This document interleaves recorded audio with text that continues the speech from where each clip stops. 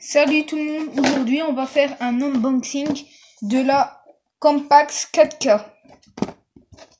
Donc on va la déballer, je vais voir si je vais pouvoir la connecter à mon téléphone avec l'application et on va tester cette caméra. Donc je l'ai acheté quand on me l'a offert.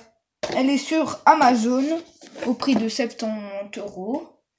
Donc il y a plein d'accessoires, il y a vraiment de tout dedans. Après j'avais deux trois autres accessoires qu'on je montrerai mais qui n'est pas dedans. Voici la caméra dans son boîtier de protection. Donc après on va la déballer. Donc voilà à quoi ressemble. Elle me fait penser un peu à l'Hero 4 je crois. Le petit bouton là pour euh, là. Là, c'est pour l'allumer. Là, c'est pour la connecter en Wi-Fi monter le son. Et là, on a le petit écran. Donc voilà, j'ai ouvert le boîtier. C'était pas trop compliqué. Donc, voici la caméra sortie du boîtier.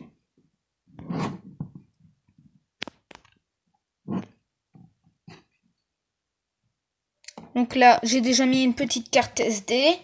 Le branchage, là, c'est pour mettre... On a un petit micro avec, mais ce n'est pas un jack spécialement. On a une petite USB-C euh, e type C, je ne sais pas trop quoi.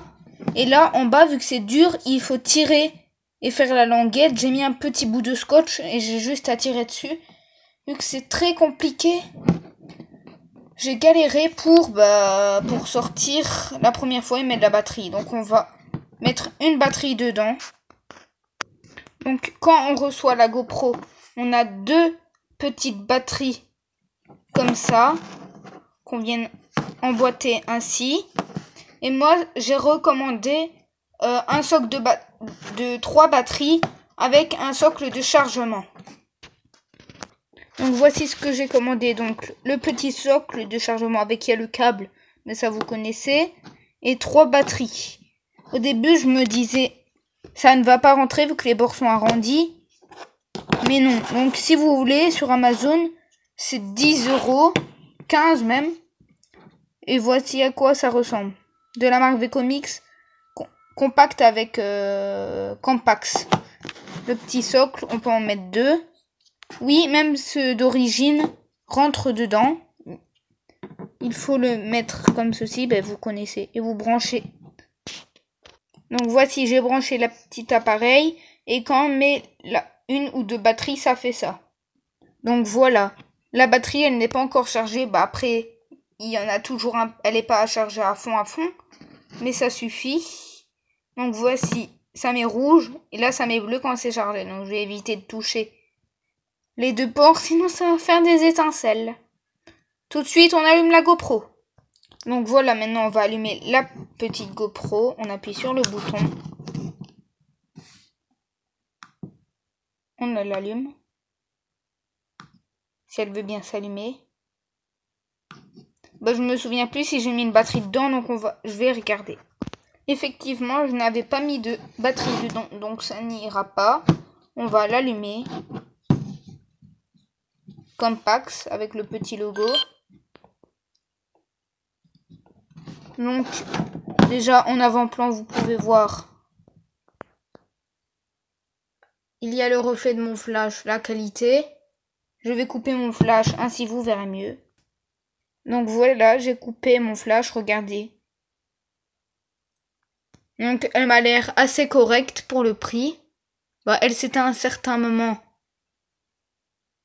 Donc voilà, après il y a le mon téléphone qui n'est pas calibré. Donc on va connecter tout ça et regarder si je peux vous faire des images.